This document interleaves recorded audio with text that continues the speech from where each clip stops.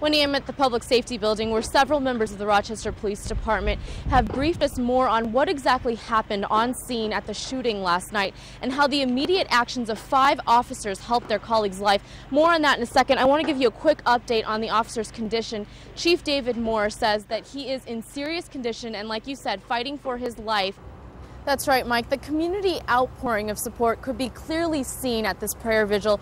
We're back at the scene of Saturday night's shooting. This is the same street where someone shot the RPD officer in his head. You just heard there Superintendent Akranovich essentially saying he plans to rethink his proposal. He'll be meeting with Alexander and other music teachers on the issue. Teachers say the theory is not all schools should be the same. A variety of programs is healthy, but still no timeline on when a definite decision will be made. Reporting in Greece, Bonyen Lee, our news.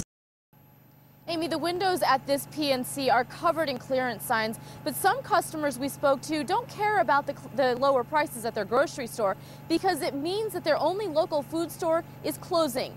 The community we're talking about is about 4,500 people in the town of Galen and the village of Clyde combined, mainly depend on this location for their groceries. Soon, they'll have to look a little further for food. They come by lawnmower here, horse and buggy, um, tractor, bicycle. When you enter Clyde, residents like Deborah Hanna will tell you this is a small enough community in which you wouldn't necessarily need a car. But as in most communities, you do need a grocery store. Who wants to get in their car on a cold day where the roads are really bad and go to the grocery store, you know? It's just so much easier to run across the street and get them. This town, nothing's too far away for everybody. You can walk around this town like in two miles. On May 2nd, when Clyde's only grocer leaves, residents will take their money to surrounding towns. The impact that it would make, uh, economic impact and loss to our community, uh, could possibly affect the tax base in the long run. Village Mayor Jerry Freemau says the Syracuse-based company informed employees two weeks ago its Clyde location would be shutting down. Town and village leaders are working to bring in a similar business. We've organized a group of people together and we're putting feelers out there just to try to get people to come in and know that we have an interest of having a store here to hopefully bring potential people in. The P&C did not return our phone calls for comment as to why they decided to close this location. Town and village leaders are working on an incentive package for future investors. They say the only bump in the road, so to speak, are two super Walmarts that are coming into the area, one south and one to the west of Clyde. One of those super Walmarts will be going in across the street at the P&C in Seneca Falls. And area leaders are guessing those super Walmarts have something to do with these grocery store closings. Amy? Amy, it's a very different scene here one night later. Demolition crews took down the house and not much is left here on Holly Street. Investigators do not have many answers for us right now as to why they say Holloway set the fire and how he did it. The alleged arson left four people homeless.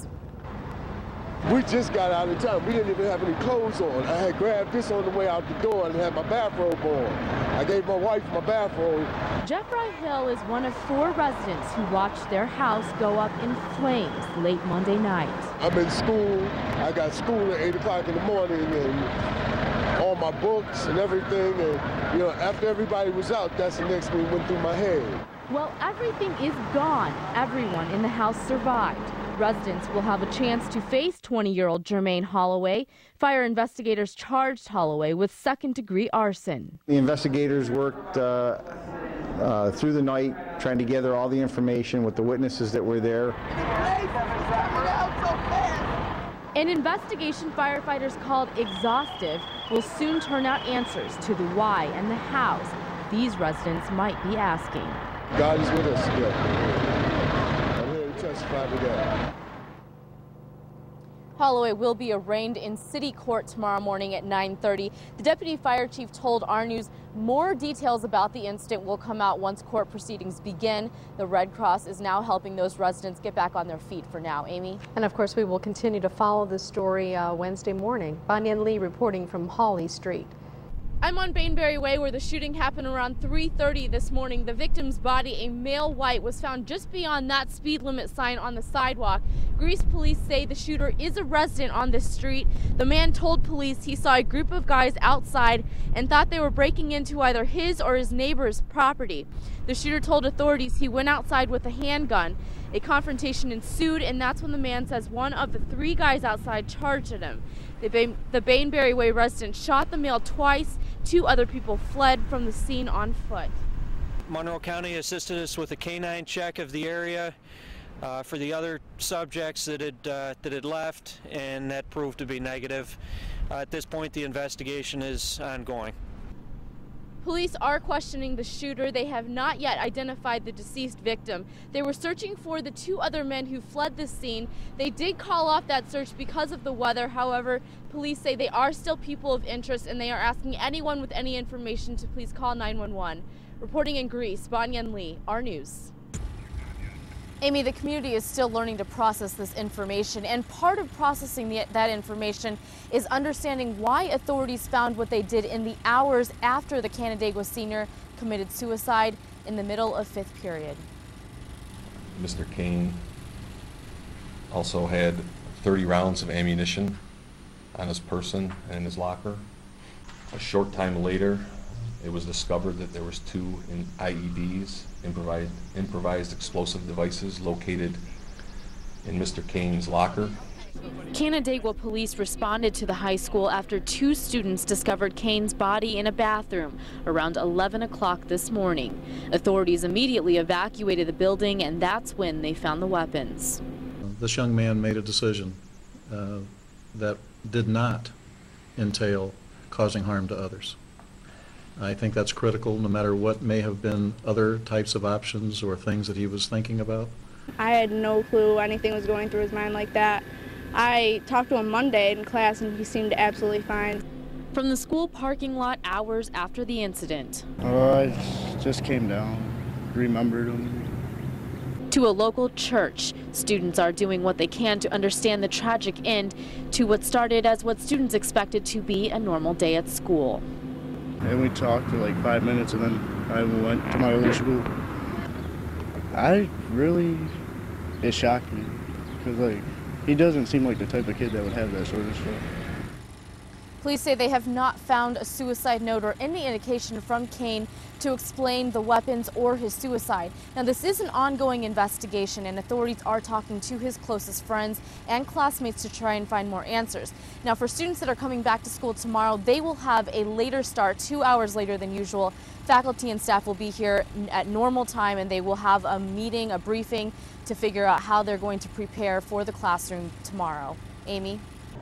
Well, Dan, this is probably one of the busiest spots in the area tonight. We are at the Jefferson Road Post Office in Henrietta, and just to give you an idea of what it looks like, the traffic behind me has been pretty steady coming in and out. They've, post, they've got post office workers out in the street directing traffic to make sure the flow of cars remains steady.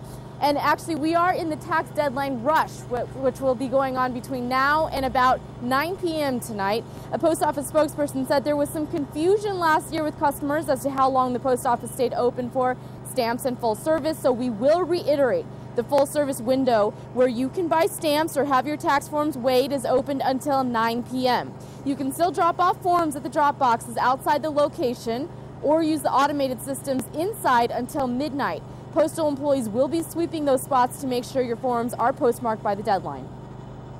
Boxes out all through the city in Monroe County. Whatever time they say on them is the last time. We do not have any different hours for those collection boxes. So if you get to a box and it says its last pickup of the day is 4 o'clock, do not think it's going to get picked after 4. It's not. So it'll have tomorrow's date on it.